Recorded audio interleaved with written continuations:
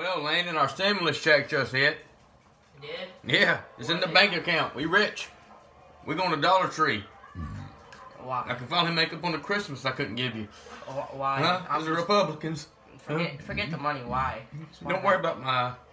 Okay. What Because? I seen some shit. Oh. I seen Republicans be stingy as fuck, including you, Mitch McConnell.